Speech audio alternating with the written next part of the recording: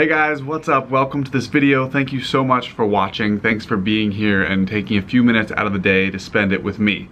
So, game plan. We're heading into the city right now to head to an audition. I'm gonna take you guys with me, so uh, let's go.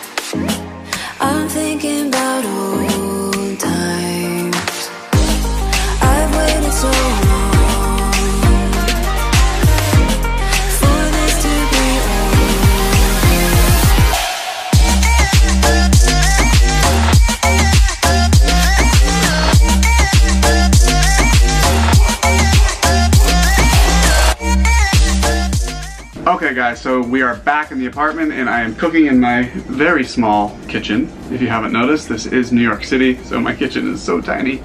Anyway, I wanna show you guys my favorite two things that are pretty simple and easy to cook and make, and then they're really good to eat too. So, first step, we are gonna cook some sweet potatoes. Sweet potatoes are one of the best carb sources out there. So I always wash my vegetables with this organic spray.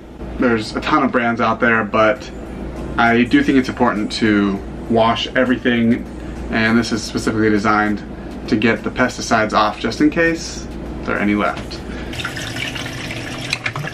So I like to cut my sweet potatoes into small circles like this, and then I will eventually cut them in halves. Next up, I spray my pan with a little, uh, this is canola oil. First, I'm gonna put these uh, potatoes on.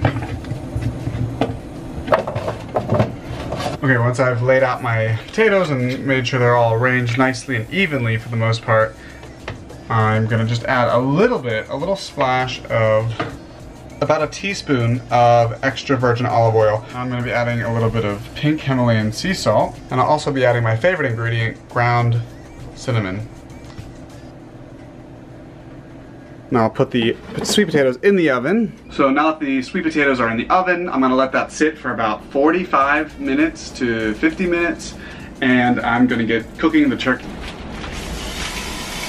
Now, because of convenience, I add the seasoning and the olive oil right on there while the turkey's cooking in the pan. I don't really prep it too much because it's just easier that way for me. So again, I'm gonna add some pink Himalayan sea salt because I love it so much. And then we've recently discovered this amazing seasoning for chicken, but why not use it for everything else? So this is Montreal chicken seasoning. Now this entire time I'm going to be paying attention to the turkey because I want to continue to stir it so that it's nice and evenly cooked. The seasoning's distributed nicely and the pink is all gone. I'm going to throw some organic power greens. What is this? Chard, baby chard, kale, and spinach. Rich in vitamins A and C. Alright, time to check in with sweet potatoes. All right. So I personally like my sweet potatoes really crispy, so these look pretty perfect to me. Um, but you can choose to check in on them earlier, cook them for less time. Okay guys, so that is how I meal prep. As a quick overview, let me just state that all again. So I cook the turkey for about five to eight minutes, stirring it the whole time, just adding a little bit of oil, salt, pepper, and some of the special chicken seasoning. For the sweet potatoes, I cut them into cubes after washing them with my organic spray. Cook them for about 45 minutes, and I did a little bit of oil, olive oil, um, cinnamon, and salt and pepper as well. And basically, that's what I do. I store up a bunch of carbs, so a carb source for the week, whether that be rice or the sweet potatoes or quinoa or chickpea pasta. And then I store up a bunch of protein for the week so that I have things to reach for in the fridge when I'm on the go if I'm hungry. That way I'm prevented from making poor choices because I always know that I have food in there.